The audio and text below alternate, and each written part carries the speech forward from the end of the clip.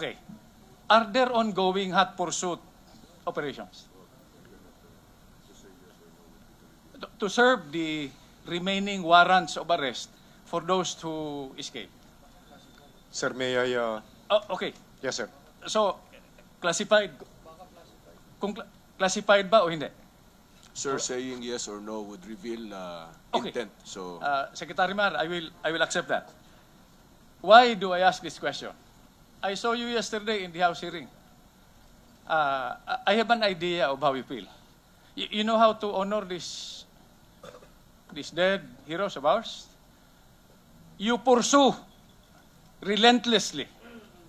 Uh, in fact, you talk to your mista, with your permission, Secretary Volz, Secretary Mar, no? you talk to your mista, Greg Katapang, and tell them that anybody, any group, and I say this in front of uh, Chairman Iqbal, who stands in the way of the serving of the warrant of arrest and to go after those who mutilated our soldiers will face the combined force of the AFP and the PNP. That's how to honor them. That's the first step. Yes, sir. The second step, uh, by the way, Secretary Mar, Secretary Bolts, this is not an order, ah. This is just a, a suggestion. Advice. In the long term, even after you have long retired, but do not, do not be in a hurry to die because you have nothing to report to our 44, no? We'll be waiting for you there. You talk to your mista. In fact, most of you are classmates here, no? You talk to them, this must be your advocacy. This must be part of your turnover of command to your successors. That whoever takes over from you, no, until we accomplish our mission of bringing, observing the warrants and bringing all this, on videotape mutilated our soldiers, will face the combined force of the AFP, the PNP, the mass base in Mamasapano, and the ARMM, and the entire Filipino people. That is unity of command and principle of objective. And lastly, General Espina, you know what legacy you will leave to our children? Not only your children, my children, and grandchildren, and the children of all our Muslim brothers, and the soldiers, their widows, and the orphans. Whatever it takes, you will leave a legacy of lasting peace. Para wala nang kailangang mamatay, kung kailangan man mabawasan. That, that is going to be our legacy. And uh, I ask this to you in this public hearing para it might help you rationalize what has happened.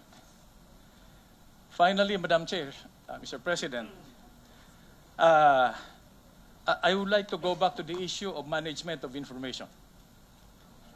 Because this is a public hearing subject to security requirements, uh, we are showing the world the quality of our soldiers, the quality of our people. But at the same time, let us avoid showing the world and all interested parties the quality of our weakness.